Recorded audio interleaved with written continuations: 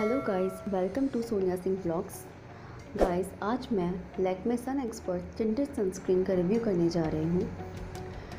इस सनस्क्रीन की खास बात यह है कि टिंटिंग टोन देता है हमारी स्किन पे। अगर किसी को मेकअप करना है तो मेकअप में ये एक बेस की तरह काम कर सकता है। आप नो मेकअप मेकअप भी इससे कर सकते हैं अपनी रोज़मर्रा की लाइफ में।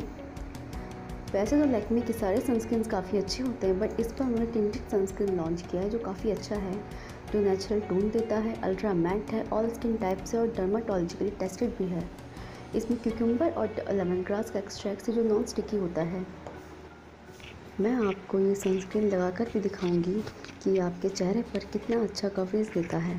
फिफ्टी एम का ये थ्री हंड्रेड रुपीज़ का मिलता है हमें गाइस ये क्रोल्टी फ्री है पैराबिन फ्री है, लेकिन इसमें परफ्यूम है।